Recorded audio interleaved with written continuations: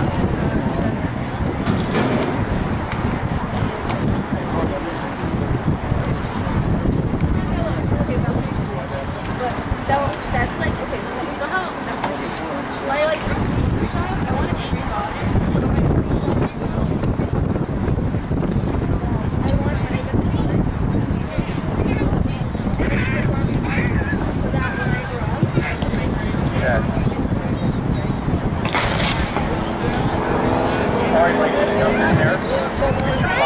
This is the fourth heat of the Frosh-Soph Boys 400. Next on the track will be the JV Girls Heat 1 of 400.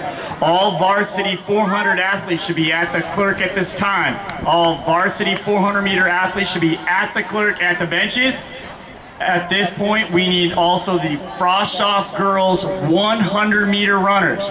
Frosh-Soph Girls 100 meter runners, we need you to start checking in.